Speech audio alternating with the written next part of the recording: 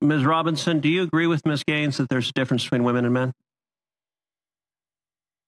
If the question is about trans women, I'm just asking, is there a difference between women and men? I mean, what I can say here is that the NCAA has rules in place. They've had rules in place for the last decade, and when this competition Okay, I'm, I'm going to try again. the rules were clear. Do you believe there's a difference between women and men? It- It's a yes/no question. It is. It, do you believe there's a difference? oh, I think that we're talking about this case with the NCAA. No, I'm asking a question. Do you believe there's a difference between women and men? Mo- I- Most people could answer this very simply.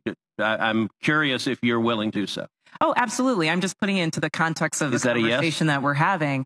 I think that there are definitions related to is- sex. Is but I that a yes? So I'm trying to get a yes or no. I'm not trying to get get a speech. Oh, I- Is I'm- there a difference between women and men? I think that there are definitions for biological sex. Okay, so you're not answering that. Let me ask you this question then. Why do women's sports exist?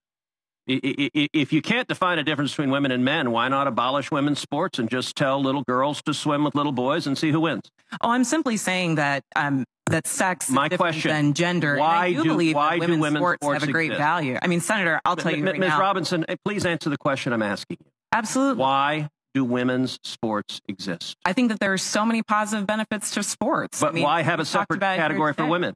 If, if, you, if there's no difference between women and men, why to have women's sports? I'm saying that there's a difference between sex and gender, and that the NCAA has rules in place, which they have for the So, last Mr. Mr. decade. which Chairman, I, I would like to enter into the record an, an article from Duke, Duke Law called Comparing Athletic Performances for the Best Elite Women to Boys and Men.